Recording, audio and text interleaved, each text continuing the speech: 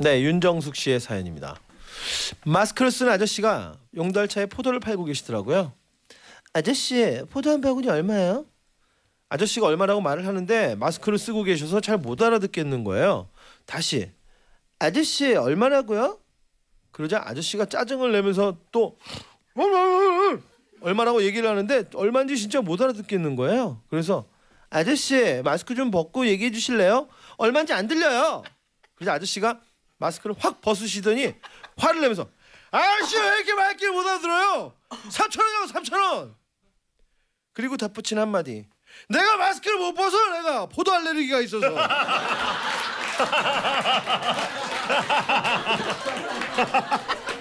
포도 파는 분이? 아유, 포도 파는 분이? 포도 장사인데 아유 포도 알레르기가 있어? 아, 딴 걸 팔아야지 그러면. 재빨리 마스크를 쓰셨어요. 어쩔 수 없이 이걸 포도를 받은 게 있나? 어떻게 포도가 생겼나 보다. 빚으로 받았나? 어? 대박이다. 이거. 이자 대신? 개진이와 코코모. 친구 개진이랑 같이 면접을 보러 갔어요. 한 사람씩 앞에 나가 면접을 보는 동안 뒤에 서서 차례를 기다리고 있는데 갑자기 옆에서 개진이가 복화술 말투로 저를 불렀습니다. 야, 야 왜 불러? 조용히 해. 야, 나 이거 어쩌지? 아, 나 미치겠네. 내가 왜 이랬지? 개진이의 시선을 따라가 보니 개진이가 왼손으로 가린 오른손 손가락 끝에 거대한 왕코 딱지가 묻어 있었어요. 여기 여기 끝에요. 예, 딱 봤는데 딸려 나올 때 엄청나게 크게 막 딸려 나오는 거 있잖아요. 차를 기다리고 있는데 어우 코딱지 가 크게 나온 거예요. 시원하긴 하겠다. 저는 얘기했죠. 야, 미친놈아. 면접 보는데 코를 왜 파? 아이, 그러니까 나도 모르게 파버렸어. 아, 이거 어쩌지? 일단 옷에 닦을까? 면접 내내 손에 숨겨놓고 있을 수도 없고 말이야. 야, 너 까만 양복이잖아, 이 자식아. 너무 튀어. 저는 생각하다가 이렇게 대답해 줬습니다. 할 수 없어. 야, 다시 코에 넣어. 개진이는 이야, 넌 역시 천재야.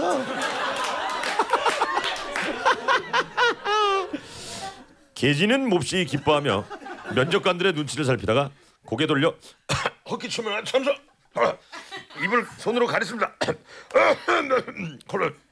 그리고 내려간 개진이의 손가락엔 코딱지가 사라져 있었어요. 자식, 성공했구나. 야, 축하해. 그런데 개진이의 짜증 섞인 황당한 대답. 아씨, 아니, 왼쪽에서 봤는데 오른쪽에 넣었어. 아씨, 콧구멍이 답답해. 아, 아이, 간지러워. 씨. 어이가 없어서 한- 하마 터면 웃음이 나올 뻔했어요. 그때 들려오는 면접관의 목소리. 에 다음 나오세요. 개진이 차례였습니다. 개진은 한쪽 코에 갑갑함을 가진 채 앞으로 나가야 했어요. 예 자기 소개하세요. 그런데 코가 너무 간지러워진 개진이는 이름을 말하다가 예 제 이름은 이개개이개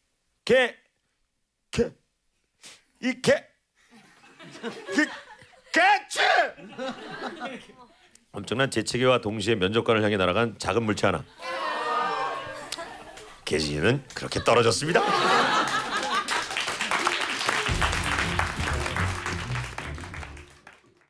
이상민 씨의 사연입니다. 조회수 내건 추셔서 빵건. 다시는 가지 않을래. 휴일인데 약속도 없고 몸도 찌뿌둥해서 뭘 할지 고민하다가 동네 효소 찜질방이 어, 효소 찜질방 있어요? 어 이딴 게 있구나. 난 찜질방 안 가가지고 있다는 걸 발견했어요. 전화로 문의하니까 사장님이 친절하게 설명해 주더군요. 저희가 오시면 코스로 모십니다. 효소 찜질 20분에 족욕하고 건강차가 준비되어 있는 스페셜 코스를 하시면 좋을 것 같네요. 첫 방문하니까 서비스도 해드릴게요. 사장님의 친절한 설명에 바로 효소 찜질방을 찾아봤는데 손님이 거의 없더군요. 뭔가 여기부터 구려지기 시작하죠. 아까 전화 예약하고 왔는데요. 아 스페셜 코스로 준비해놨습니다. 옷 갈아입고 오세요. 옷을 갈아입고 누워 있으니 사장님이 삽으로 효소를 퍼서 저를 묻기 시작했어요. 생각보다 너무 더워서 땀이 주르륵 주르륵 나길래 사장님이 너무 더운데 온도 조절 안 되네요. 했더니 사장님이 살짝 짜증을 내며 가만두고 계신 손님이 덥겠습니까? 삽질하는 제가 덥겠습니까? 그땀 내야 되니까 그냥 계세요. 갑자기 제가 죄인이 된 기분이었어요. 사장님은 땀이 범벅이 돼서 계속 삽질을 하면서 아 힘들어. 씨. 아 힘들어 죽겠네. 아나 짜증나네 짜. 씨. 아이 더워 씨. 저는 눈치가 보여서 아무 말도 못하고 소심하게 효소 속에 묻혀야 했습니다. 삽질을 다한 사장님은 밖으로 나가셨고 저는 효소 속에 파묻혀서 20분간 땀을 쏟아내고 있었어요. 저기요 사장님 저 이제 그만할래요. 사장님 저 나가고 싶습니다. 사장님 저기요 불러도 대답 없는 사장님이요 유유 돈 내고 고문 받는 기분이었어요. 그렇게 첫 코스를 끝내고 씻고 조심스럽게 물었어요. 사장님 다음 코스는 조격입니까? 그러자 사장님이 어깨를 두드리며 저기 고무대 가지고 수도가에 가서 그 뜨거운 물을 받아가지고 발 담그고 계세요. 하는 겁니다. 내가 직접 고무대에 뜨거운 발을 물 받아서 다발 담그고 있는 게 그게 스페셜 코스인가? 어이가 없었지만 시키는 대로 물을 받으러 갔는데 옆에서 물 받던 아주머니 한 분이 저한테 말씀하셨어요. 총각, 나 이거 무거워서 그런데 저쪽까지 좀 들어다 줄래? 어느새 저는 그 찜질방에 직원 총각이 돼 있었어요. 그렇게 직접 받은 뜨거운 물에 발을 담고 족욕을 마치고 나니 마지막 건강차가 저를 기다리고 있었습니다. 은행에 가도 병원에 가도 공짜로 언제든 마음껏 마실 수 있는 티백 녹차. 그것도 종이컵을 들고 정수기에 뜨거운 물 직접 받아서 전 너무 실망스러워서 사장님께 소심하게 따졌습니다. 아니 이건 건강차라더니 녹차 티백이 뭡니까 이게? 돌아온 사장님의 대답은 손님 녹차가 건강차지. 그럼 몸에 해로운 차입니까? 아 네. 그렇게 스페셜 코스를 힘겹게 마치고 지쳐서 집으로 돌아왔습니다. 신청은 박지정의 뭔가 이상해. 익명을 요구했습니다. 진심 부끄러웠던 기억이라고. 사회초년생 시절 취직하자마자 직장 선배가 결혼식을 했어요. 저는 고민했죠. 아, 이 부조금을 5만 원 해야 돼, 3만 원 해야 돼 이거. 앞으로 계속 볼 사람인데 5만 원 할까? 아니야. 만난 지 일주일도 안 됐는데 그냥 3만 원 할까? 고민 끝에 그냥 3만 원 했어요. 이제 막 취직해서 한 푼이 아쉬운 상황이었으니까요. 저는 그때 결혼식장이라는 데를 처음 가봤어요. 어리버리 헤매다가 부조를 하고 식권을 한 장 받았습니다. 딱히 친한 사람도 없어서 그냥 인사만 드리고 곧바로 뷔페로 향했죠. 뷔페란 것도 그때가 처음이었어요. 이 사람은 뭐 하는 사람일까요? 혼자나마 깨끗하게 한 접시를 비우고 슬쩍 눈치를 봤죠. 한 번 더 먹어도 되겠지? 3만 원 내고 두 번 먹는다고 누가 잡질 않겠지? 아 좀 찔리긴 하는데 하면서 접시를 들고 다시 음식을 채우러 테이블 쪽으로 가는데 갑자기 테이블 직원이 제 접시를 양손으로 잡는 거예요. 그 접시 제게 주시죠. 순간 뜨끔했어요. 왜 접시 뺐지? 내가 3만 원 낸 걸 눈치챘나? 직원은 계속 접시를 당겼고 저는 접시를 안 뺏기려고 손에 힘을 주고 잡았어요. 직원이 다, 다시 한번 어, 접시 이리 주세요. 짧은 순간 많은 고민을 했어요. 저는 손가락 하나를 들고 비굴하게 미소 주면서 한 번만 더 먹을게요. 순간 저를 바라보는 그 직원의 이놈 모지하는 표정. 안 되나요? 그러자 직원이 거칠게 제 손에서 접시를 뺏어들며 손님 저기 있는 새 접시로 마음껏 드시면 됩니다. 직원이 가리킨 곳은 새 접시들이 수북 쌓여 있었어요. 사람들은 한 번 쓴 접시들은 직원에 넘기고 새 접시를 가져다가 음식을 퍼담고 있었어요. 정말 어디 지구본이라도 있으면 숨고 싶었어요. 아 그 직원은 저를 어떻게 생각했을까요? 아무리 결혼식 뷔페가 처음이라지만 저는 도대체 왜 그런 말을 했을까요? 신청은 휘성에 안 되나요? 박지원 씨의 사연입니다. 20대 자취하는 여자의 목소리로 읽어달라. 뭐가 다를까? 자취하는. 제 근처 마트에 라면을 사러 걸어가고 있는데 아파트 앞 공터에서 대여섯 살쯤 돼 보이는 여자애 둘이 고사리 손으로 배드민턴을 치고 있는 거예요. 그리고 다른 아이 한 명은 계단에 앉아서 몇 대 몇을 외치며 점수가 날 때마다 큰 소리로 점수를 말해주고 있더군요. 조그만 애들이 자기 키만한 라켓을 들고 치는 게 귀여워서 잠시 지켜보는데 어, 점수가 이상한 거예요. 34 대 33 34 대 34 배드민턴인데 35 대 34 30, 30점대란 것도 놀라웠지만 엎치락 뒤치락 동점이 반복되는 게 너무 신기해서 가만 지켜봤죠. 한쪽 꼬마가 서브를 놓자마자 그냥 바닥에 떨어지고 점수는 자동으로 1점.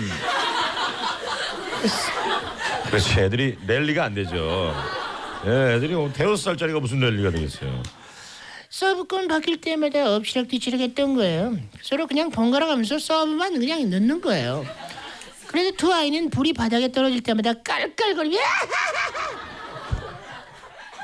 심판 보는 아이는 그닥 즐거워 보이지 않았어요. 점수를 말하면서도 중간중간 혼잣말로 34대 30 나도 하고 싶다 하며 중얼거리더라고요. 50점을 끝으로 경기가 끝나는데도 그 심판 서브는 적어도 한 100번, 99번 정도는 넣은 거 아니에요. 그 심판 아이가 다시 앉아서 또 심판을 보면서 어, 나도 하고 싶다. 나도 하고 싶다. 하고 있길래 제가 다가가 물었죠. 너는 왜 안 해? 너도 하고 싶지 않아? 하고 싶어요. 그런데 왜 안 해? 배드민턴을 못 치니? 그러자 그 아이 한해 맺힌 듯 아니요. 쟤들은 숫자를 못 세요.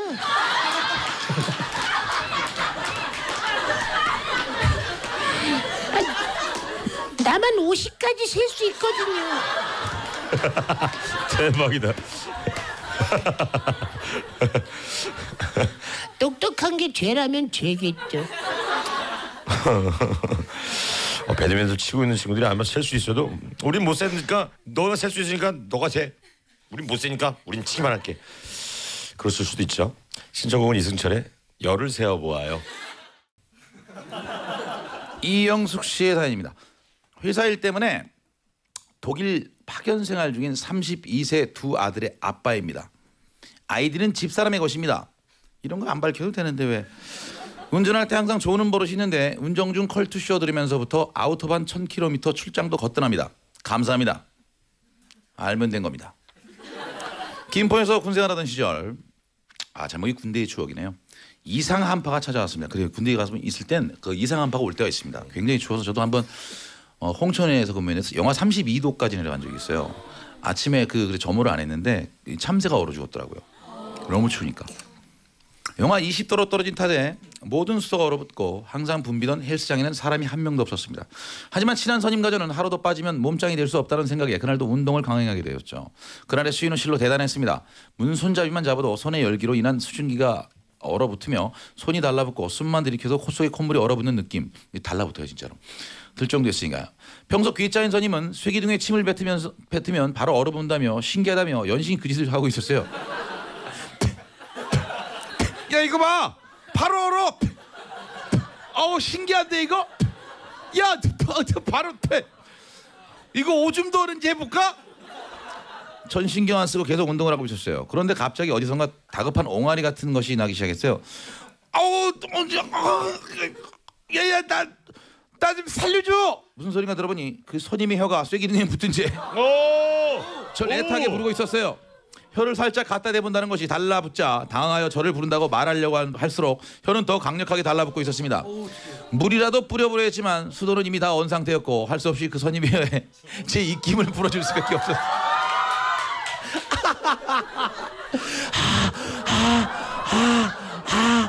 아유 좋겠다 어떻게 좀 해봐 아 아파 죽겠 아파 아파 아파 아파 죽겠어 어떻게 해봐 조금만 참으시지 말입니다 최선을 다하고 있습니다 아 아 아 아, 그렇게 한번 얼어붙은 혀는 잘 떨어지지 않았고 둘이 거의 입이 맞댄 상태로 2, 3분을 그딴 식으로 해동 작업을 하고 있는 중에 중대장님이 그 광경을 보고 니들 뭐 하는 거야?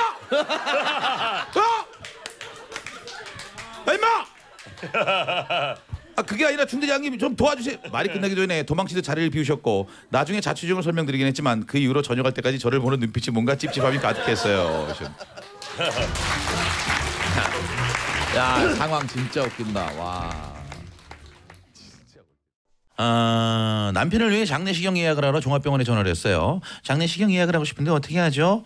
아, 담당자 연결해 드리겠습니다. 그런데 여기서 문제가 발생했어요. 전 장례식경이라고 말했는데 안내 직원이 장례식장으로 연결해 준 거예요. 잠시 후 연세 지긋하신 남자 직원분이 전화를 받으셨고 둘이 어긋난 대화가 시작됐습니다. 예약하신다고요? 대상자가 누군데요? 남편이요. 아이고 어떡해나 전 그때 그분이 왜 이렇게 안타까워하는지 를 몰랐어요. 아니 뭐가 어떻게 해요? 다들 한 번 정도는 하지 않나요? 아 네 한 번 정도는 경험을 하죠 근데 아이고 이게 젊으신 것 같아 가지고 아니 뭐 어차피 한 번은 해야 되는데 젊은 게 뭔 상관이에요? 빨리 해버리면 좋죠. 아, 아 그럼 어, 언제 오시나요? 자리가 비었는지 봐야 되는데 어, 한 5일쯤 후로 해주세요.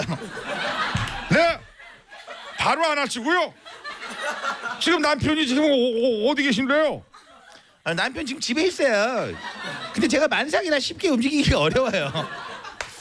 만삭이세요? 아이고 이를 어쩌나 제가 차를 보내드릴까요?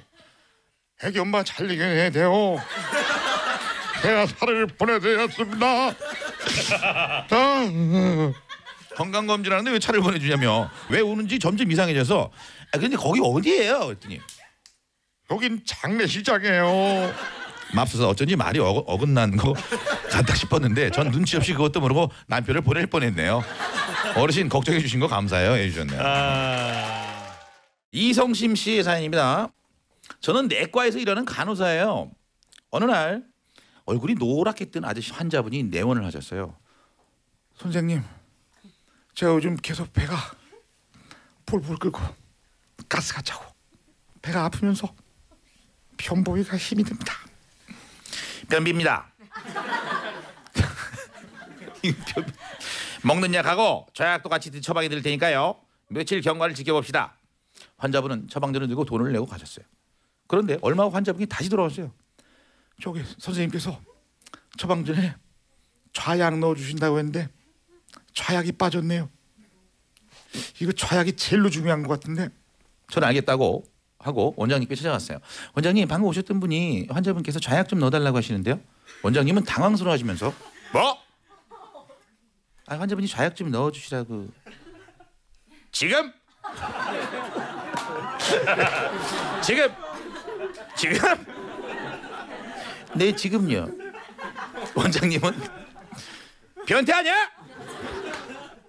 다행히 원장님은 바로 어떤 뜻인지 고쳐 듣고 좌약을 다시 잘 처방해 주셨어요.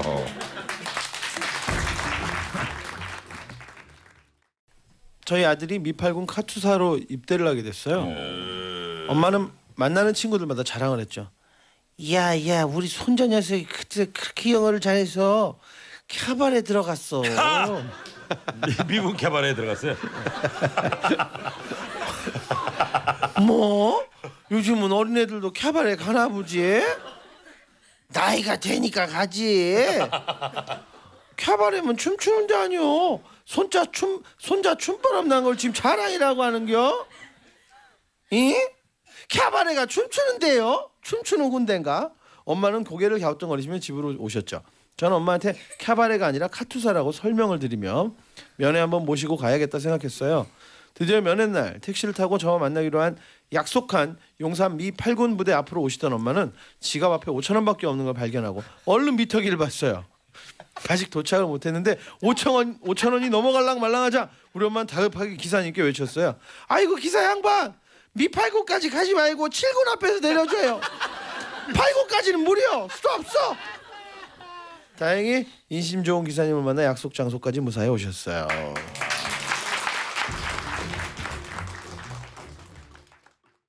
최성진 씨입니다. 조이 34건 추산건 이별할 수 없어요란 제목으로 저희 사촌 누나가 결혼을 약속한 남자친구를 처음으로 부모님께 소개시키게 되었어요. 남친은 누나 집 거실에서 이모부 앞에 무릎 꿇고 결혼 승낙을 구했죠. 그러나 이모부는 호락호락하지 않았어요. 왜 이렇게 참 호락호락하지 않은지 그죠? 난 이 결혼 반대일세. 어, 왜, 왜, 왜요 아버님? 어? 누가 네 아버님이야? 습? 아빠 제발 허락해 줘. 응? 이 사람 능력도 있고 우리 정말 좋아한단 말이야. 나 이 사람 아니면 안 돼. 어? 어? Shut up! 안 된다면 안 돼. 단호박 같은 이모부의 태도에 보다 못한 이모가 한마디 거들었어요. 아니 당신 왜 그래요? 기동원 치다고 해서도 번듯한데 뭐가 땅에서 고집을 부려요? 하지만 이모부는 귀에 소세지라도 박은 것 마냥 대꾸도 않고 콧방귀만 끼고 있었어요. 사촌 누나는 끝내 눈물을 터뜨리고 말았죠. 뭐가 그렇게 마음에 안 드는 거야? 내가 좋다는데 나도 이제 시집 가고 싶은데 말이야. 사촌 누나의 남친은 그런 누나를 달래가며 이모부의 허락을 받기 위해 최선을 다했어요. 자리에서 일어나면 이 싸움에서 지는 거라 생각으로 30분도 넘게 이모부 앞에 무릎을 꿇고 앉아 있었죠. 점점 다리에 쥐가 나기 시작했고 신음을 간신히 참으며 마지막 콩기름을 짜는 듯이 힘겹게 다시 입을 뗐어요. 아버님, 제가 어떤 것이 마음에 안 드는지 말씀을 해주시면 고치겠습니다. 그러니 제발 제 결혼을 허락해 주세요. 내 눈에 흙이 들어가기 전에 절대 안 돼. 그때였습니다. 아! 이모부가 이모부가 쓰러지셨어요. 울고 있던 누나는 놀라 울음을 그쳤고 그때 누나 남친은 움찔하며 혹했습니다. 이모부 옆에 서 있던 이모가 무언가를 후두둑 던졌어요. 아, 내 눈에 흙이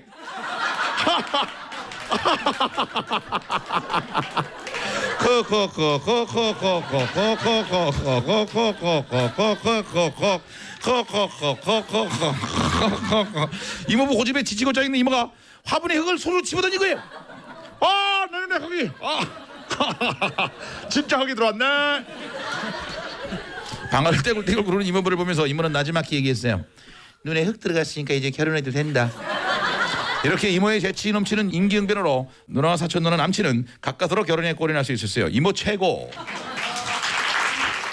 자 장선미 씨 음, 사진 전송 작전 이란 제목으로 다혈질 열혈 이모 목소리로 읽어달랍니다. 다혈질 열혈 이모 목소리. 책밖에 모르는 범생이 형부는 기계치예요. 엊그제 조카가 수시 논술 시험을 보러 갔어요. 조카와 언니 그리고 서 셋이서 KTX를 타고 신촌에 있는 모 대학까지 갔죠. 그런데 막 고사장으로 입시를 하는데 조카가 깜빡하고 신분증을 안 가져온 거예요. 언니와 저는 집에 있는 형부한테 급히 전화를 했죠. 형부, 주민등록증 사진 찍어서 얼른 보내. 어 사진을 어떻게 보내? 휴대폰으로 사진 한 번도 안 보내봤어? 어? 나는 전화 걸고 받는 거밖에 안 해봤는데. 아 진짜? 지금 시간 없는데 큰일 났네. 사진 찍을 줄 알지? 지금 당장 카메라를 열어서 사진을 찍고 저장을 한 다음에 메시지 보내기를 눌러서 사진을 첨부해서 보내라고! 어찌어찌 설명을 하고 전화를 끊었는데 잠시 후 다시 형부한테서 전화가 왔어요. 어 이거 이상해. 자꾸 사진기에 내 얼굴만 나오고 내 앞에 있는 건 찍을 수가 없어요. 야 이거 어떻게 된 거야? 아이씨. 정말 미쳐버린 줄 알았어요 형부 셀카 모드를 해제하고 사진을 찍어야지 아 그러니까 그걸 어떻게 해제하냐고. 화면 오른쪽 위에 있는 화살표 동그라미를 눌러서 모드를 바꿔요. 화살표가 있어 여기? 화면이 앞을 보이도록 하라고 아무리 설명을 해도 아나 못하겠어 안 돼. 눈도 잘 안 보인단 말이야. 그래서 저도 모르게 버럭 소리를 질렀어요. 그럼 신분증을 형부 코에 붙이고 셀카를 찍어. 어 그런 방법 있었네요. 결국 형부는 코에 신분증을 붙이고 셀카를 찍어서 보냈답니다. 신청곡은 롤러코스터에 참 잘했어요.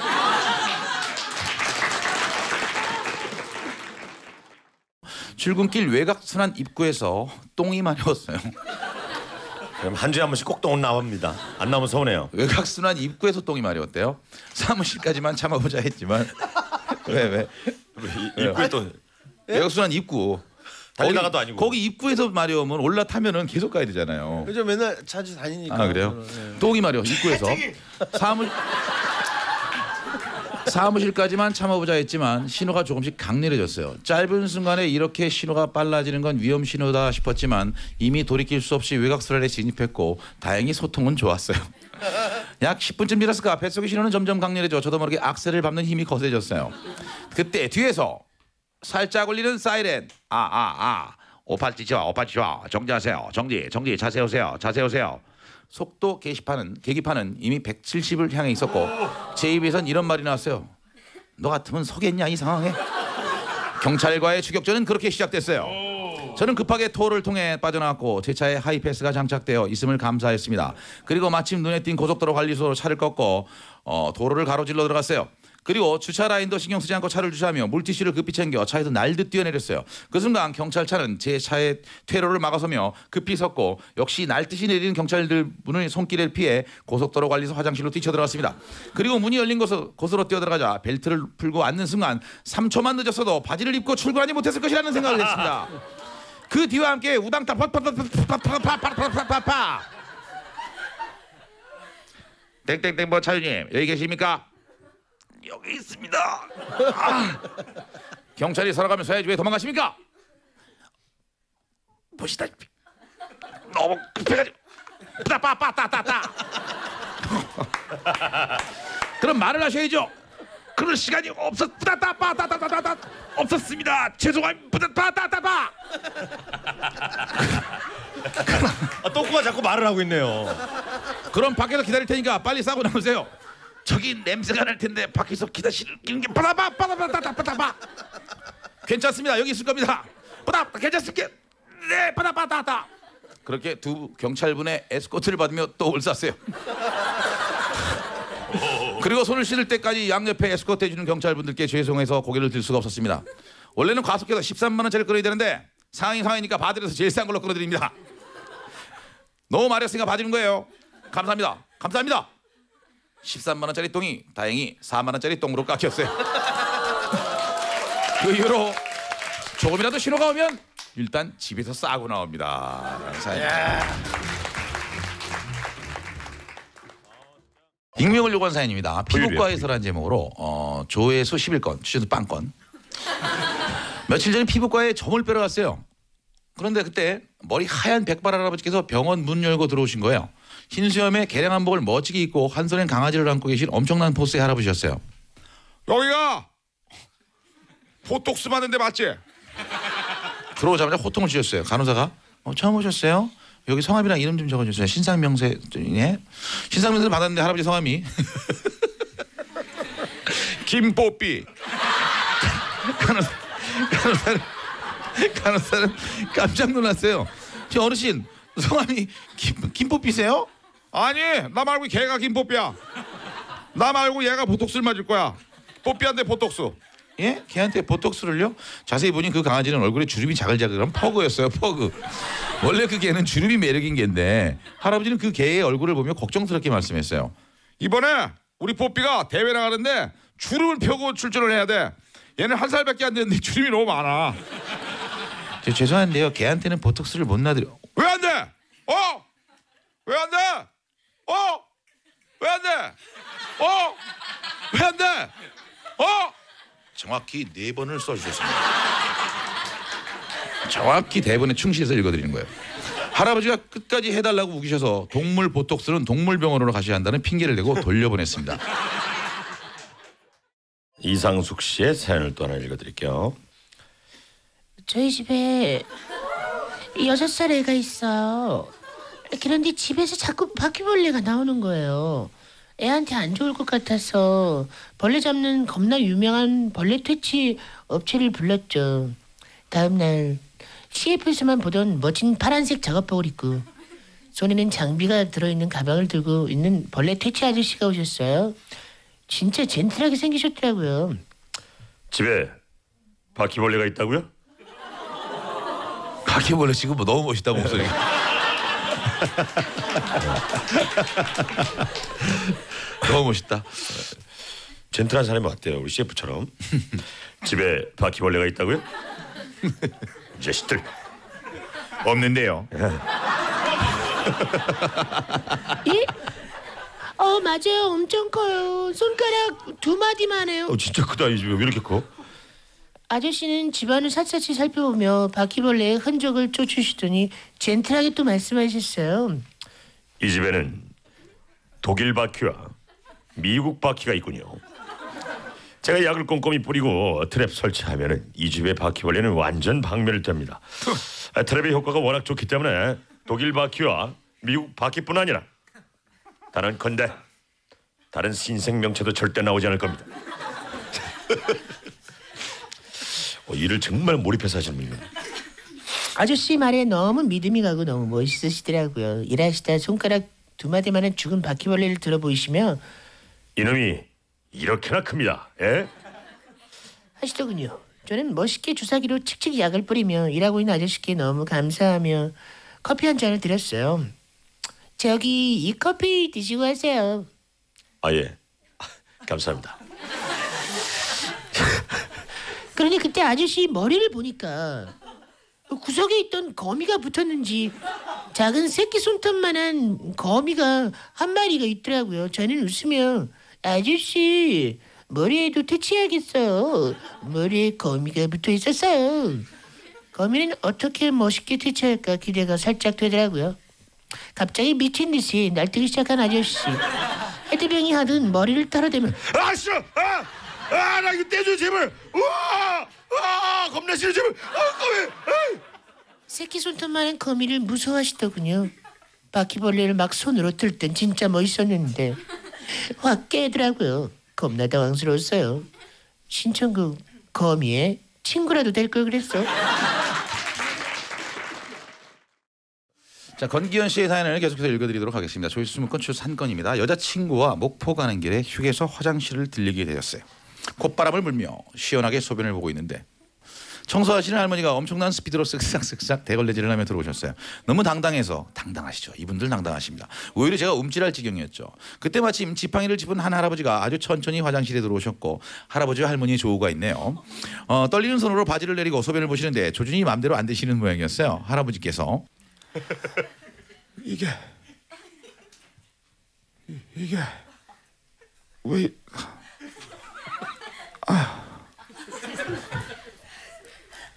아, 오줌을 왜 이쪽으로 가지?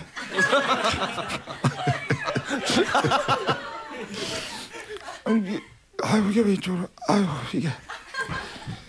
오줌이 이게 쉬 소변은 마구잡이로 튀기 시작했고 할머니는 이왜 이렇게 흘려? 왜 이렇게 흘려댄디야? 나 바빠 죽 같은데. 아이 왜 이렇게 흘려요? 그러자 할아버지는 엄청 불쌍한 목소리로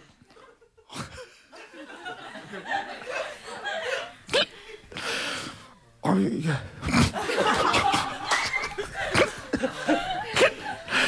아니, 이게 내 말을 안 들어.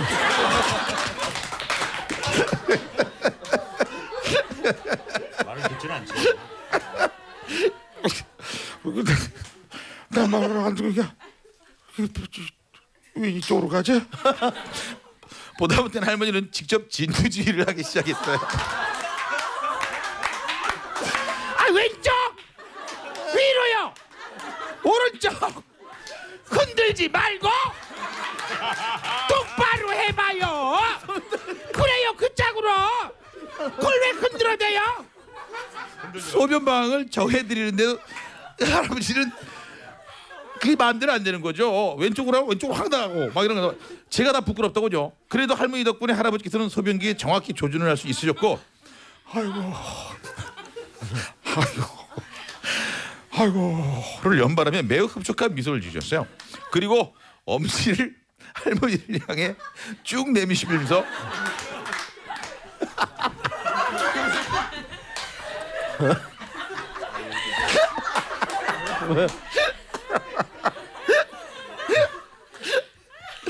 아이고 그쪽 그쪽은 그쪽은 오줌 내비게이션이야?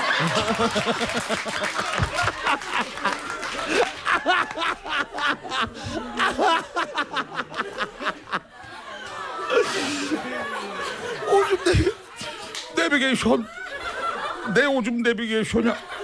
할머니는 뭘 그런 걸 다 칭찬하냐며 뭘 칭찬을 해요? 그런 걸. 아유 내가 뭘 내가 뭘 그 정도 가지고 수줍게 웃으시면서 웃으셨고 짧은 사이 두 분 사이엔 묘한 분위기가 흘렀어요. 아나 아나 또 1년 만에 보네 또. 오줌 내비게이션 오비게이션. 아 웃긴다. 아 진짜 웃긴다. 버스 타고 가는데 한 노부부가 타셨어요. 할아버지는 앞쪽 자리에 앉았고 할머니 뒤로 오셔서 제 옆 자리를 피해서 어떤 어떤 잘생긴 청년이 옆자리에 앉으셨대요. 할머니가 왠지 그 청년에게 진 것 같은 기분이 들었어요. 아무튼 할머니는 얼마 안 가 청년의 어깨에 머리를 푹 기대고 잠이 드셨어요. 몇 정거장 지났을 때 앞자리에 할아버지가 뒤로 돌아보시며 할머니를 조용히 불렀어요. 할멈 할멈 할멈 그러자 할머니는 곤히 주무시나 그 목소리를 듣지 못하셨죠. 한 정거장 지났을 때 할아버지는 다시 뒤돌아보며 아까보다 조금 더 크게 할멈 할멈 아, 할멈 그래도 할머니는 계속 주무셨어요. 한 정거장 지났을 때 할아버지는 다시 충분히 들려는 목소리로 크게 할멈 아 할멈 아 할멈 할아버지는 한마디 하셨어요. 안 자는구만 앉아. 저, 저 할머니 앉아줘. 그렇죠. 자던 사람이면 벌떡 깼을 텐데 대답이 없는 거면 듣지도 일부러 모른 척하신 거예요. 할아버지는 다시는 할머니를 부르지 않으셨고 내리실 정류장이 되자마자 거짓말처럼 할머니가 깨어나셔서 할아버지의 뒤를 따라 내주셨어요. 아마 잘생긴 청년의 어깨가 좋으셨나 봐요. 이거 봐 재밌잖아. 이걸 왜 밑에다 놨어? 강미경 씨의 사연입니다. 저는 고등학교 교사예요. 지금 학생들이 한창 대학교 수시 면접을 보고 있는데요. 우리 반 여학생의 면접 이야기입니다. 세 명의 면접관 앞에 각기 다른 학교에서 온 세 명의 학생이 면접을 보고 있었어요.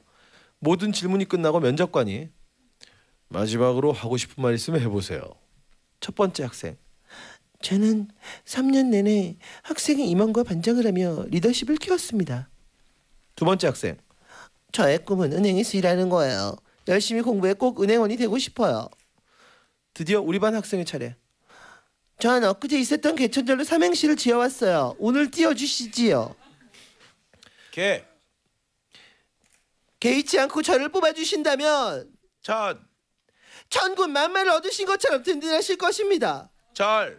절 받으시지요. 그러면서 면접관을 향해 큰 절을 어, 올렸대요. 이거 합격 이거 합격 아니에요? 그, 그, 그, 예? 합격이 됐을 것 같은데. 떨어졌어요? 그 얘기는 아직 없네요. 지금. 아, 그래. 예. 교수 승관 교수님 세 분은 어쩔 줄 몰라 하며 동시에 일어나셔서 우리 반 학생과 같이 맞절을 했다고 합니다. 부디 꼭 합격했으면 좋겠네요. 전국의 수험생 여러분 화이팅입니다. 와. 아 제가 면 면접관이었으면 저는 좋은 점수를 줬을 것 같아요. 저는 좋은 점수. 예전에 할아버지 댁에 갔을 때 TV 채널을 돌리다가 어마어마한 근육의 보디빌더들이 나오길래 저도 모르게 채널을 멈췄어요. 근육질의 남자들이 포즈를 취하며 육체미를 뽐내는 모습에 한껏 매료돼 입을 벌리고 있는데 보디빌더가 뒤로 돌았을 때 저는 크게 감탄하고 말았어요. 엉덩이가 어, 어우, 근육질 엉덩이가 엄청나더라고요. 보디빌더의 힘을 불끈 쥐면 엉근이 엉덩이 근육 엉근이 알차게 막 불끈불끈 올라오는 모습을 보고 절로 탄성이 났어요. 어! 와! 어머! 어! 어! 그때 옆에 계시는 할머니가 엉, 엉근을 엉덩이 근육을 보시더니 감사평이 남다르셨어요. 아이고! 제 똥은 나오다 기절하겠다. 저 사이로 어떻게 나온다냐 똥이? 막 웃겨서 뒤집어지는데 막 웃겨 뒤집어지는데 할아버지가 한마디도 못했어요.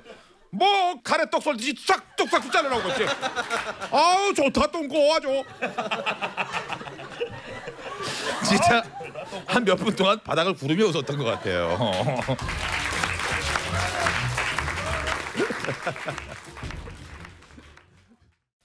아, 친구가 처음으로 자취를 시작했는데 골목길 사이에 집들이 전부 다닥다닥 붙어 있어서 방음이 잘 안 됐대요.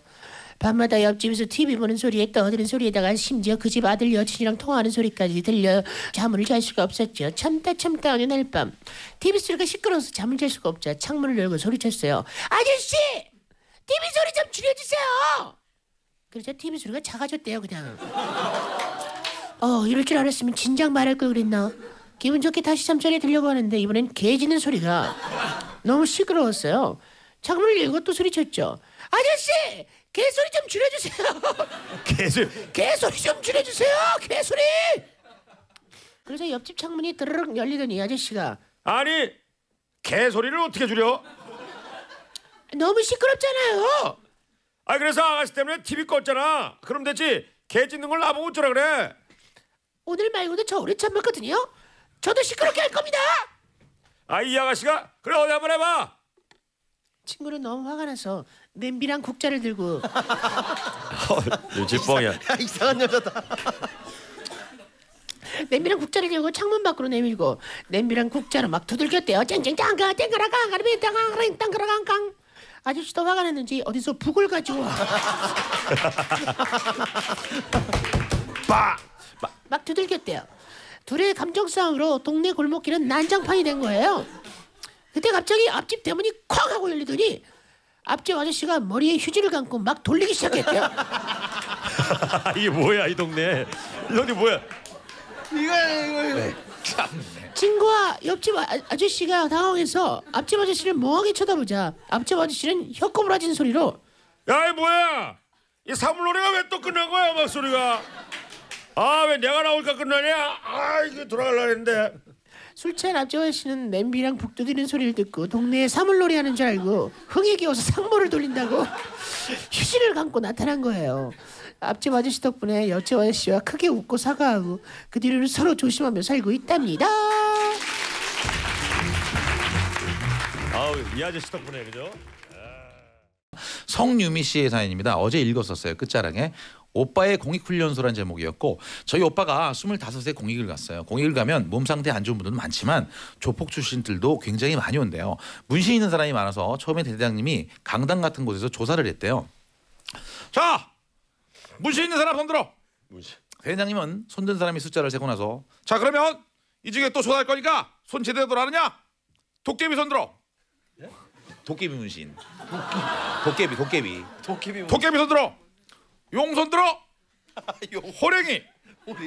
글씨 손 들어 글씨. 그 밖에 문이 문양 손 들어. 아주 구체적으로 몸에 새겨진 그림 종류별로 조사를 했는데 한 명이 빈 거예요. 그래서 뭐야? 한 놈 누구야? 이제 처음부터 다시 할래?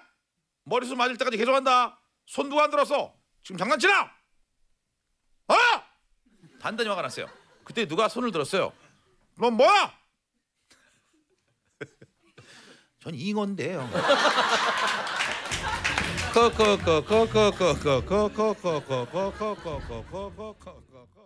에러 에러 에러